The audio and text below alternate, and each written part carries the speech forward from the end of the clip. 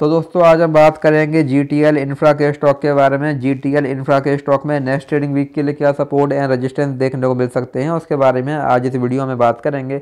हम अगर यहाँ पर स्टॉक की बात करें तो हम देखेंगे जो ये स्टॉक है, ये हमको पहले यहाँ पर लगातार क्लियर डाउन ट्रेंड में देखने को मिल रहा था। पहले हमको स्टॉक में लोअर लो लोअर हाई वाला पैटर्न यहाँ पर देखने को मिल रहा था, लेकिन फिर स्टॉक ने यहाँ पर सपोर्ट लिया।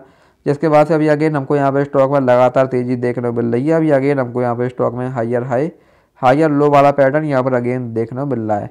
अभी रिसेंटली हमको यहाँ पर स्टॉक में गिरावट भी देखने को मिली थी, लेकिन गिरावट के बाद भी स्टॉक ने अपने प्रीवियस लो को ब्रेक नहीं किया और आज अगेन हमको यहाँ पर स्टॉक में टू परसेंट की यहाँ पर तेज़ी देखने को मिली है।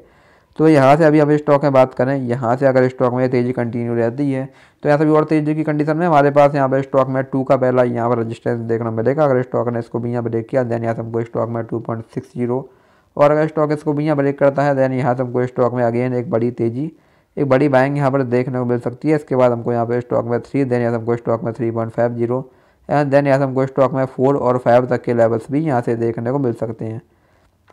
वहीं यहाँ से अगर स्टॉक में गिरावट आती है तो यहाँ से गिरावट की कंडीशन में हमारे पास यहाँ पर स्टॉक है 1.65 का पहला यहाँ पर सपोर्ट देखने को मिलेगा। अगर स्टॉक ने इसको ब्रेक किया देन से हमको स्टॉक में 1.45 एंड देन से हमको स्टॉक में अगेन 1.25 तक के लेवल्स भी यहाँ पर देखने को मिल सकते हैं। एज ए नेक्स्ट यहाँ पर सपोर्ट तो ये स्टॉक में कुछ इंपॉर्टेंट लेवल्स हैं, आप इन पर ध्यान दे सकते हैं। बाकी वीडियो में कोई बाय सेल होल्डिंग्स ला नहीं है।